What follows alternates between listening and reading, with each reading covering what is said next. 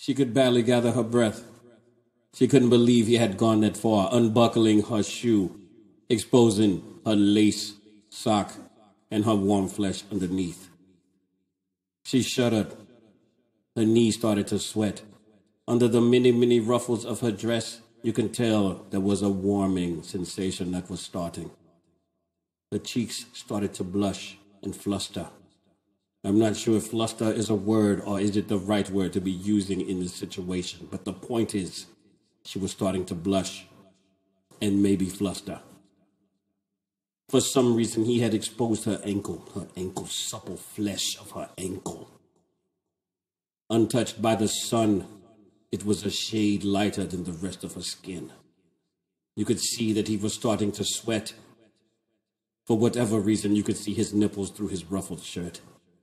Why are his nipples so erect just from seeing an ankle? We don't know. This is the Victorian times. Before he knew it, he had unbuttoned three of her laces on her corset, leaving 600 left. But three had started, and she had never been that far.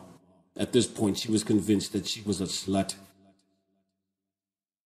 We don't know what happened later, because at some point she passed out because he undid the other buckle on her shoe.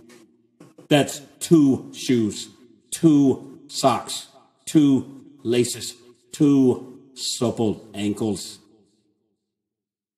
She had never seen such a thing. Then she sucked his dick.